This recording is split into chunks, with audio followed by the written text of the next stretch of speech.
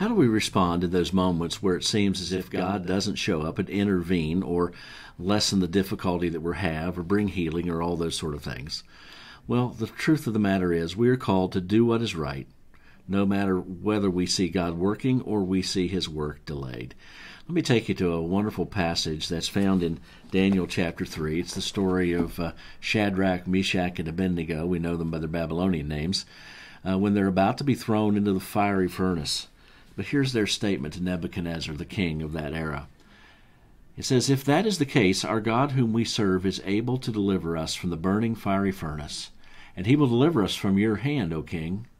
But if not, let it be known to you, O king, that we do not serve your gods, nor will we worship the gold image which you have set up. And that's Daniel chapter 3, 17 and 18. Don't you love their resilience and their confidence in God? Uh, it, God's able to deliver us, but even if He doesn't, we're still going to do what's right. By the way, that's a great strategy for us. Yes, God is able, but God sometimes does things differently than we would want Him to.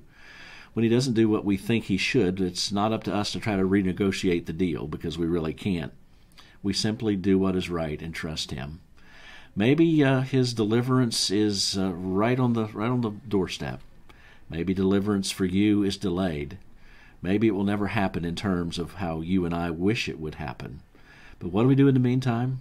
You do what is right. You honor God. You don't surrender your trust in Him, and you don't uh, seek for other things to trust in other than Him.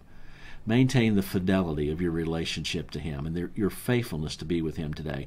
Thank you, by the way, for spending these few moments with me. And I hope that uh, during our time together, during these 28 days, that uh, you are developing the habit of getting alone with God. If you do, you're going to be there to do what is right, to find the strength to do what is right, no matter what we see happening in our lives. God bless you. Have a great and glorious day in Him.